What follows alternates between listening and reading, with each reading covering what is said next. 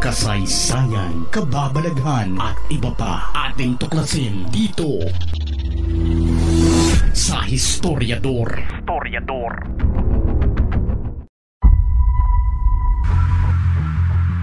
January 11, 2024. May nakalap na impormasyon ng Estados Unidos na mayroong isang barko sa Gulf of Aden na naglalayag at may karga-kargang mga armas mula sa Iran papunta sa Yemen para ipagkaloob sa grupong Houthi na siyang responsable sa mga nangyayaring pangingidnap ng mga crew ng mga barkong dumadaan sa kanilang karagatan.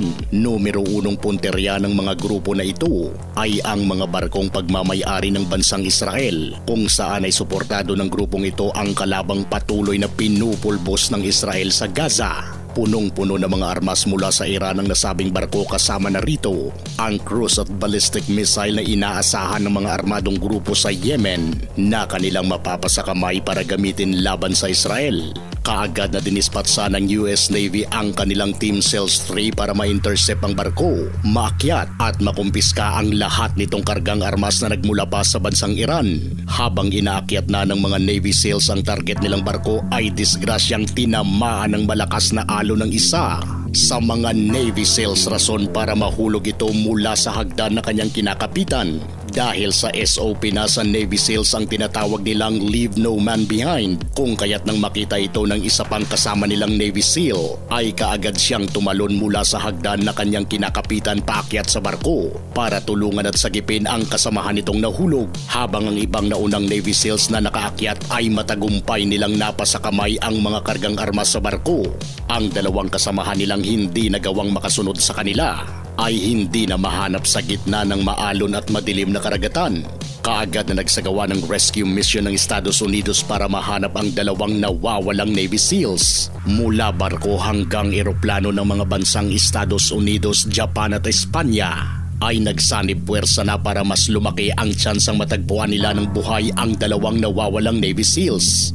Umabot sa sampung araw ang ginawang paghahanap ng mga eroplano at barko pero hindi talaga nila magawang matagpuan ang kanilang hinahanap kahit na sanay sa training lalo na sa paglangoy ang dalawang Navy SEALs na iyon. Pero dahil sa bigat ng kanilang dala sa kanilang mga katawan ay siguradong nagpadagdag ito ng hirap para sila'y makasalba sa taas ng alon, lalim at lamig ng tubig sa gitna ng karagatan.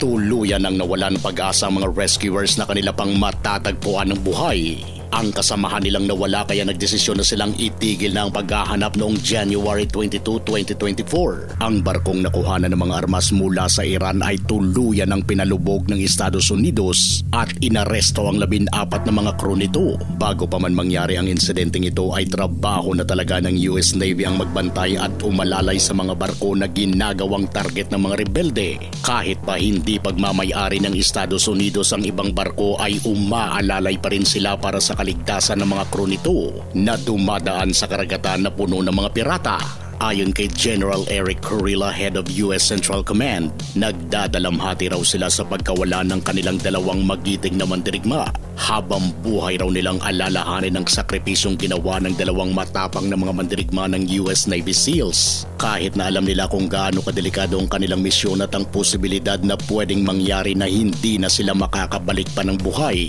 para muling makita ang kanilang mga mahal sa buhay. Pero dahil sa kanilang sinumpang tungkulin at pagmamahal sa bayan ay hindi na baling magsakripisyo ng kanilang sariling buhay. Ikaw, kaya mo rin bang hindi iwan ang kasamahan mo sa trabaho? Gusto nyo ng mga ganitong klaseng videos, panoorin, pindutin ang notification bell, mag-subscribe at i-share sa mga kaibigan. Maraming salamat po hanggang sa susunod dito sa Historiador. Historiador.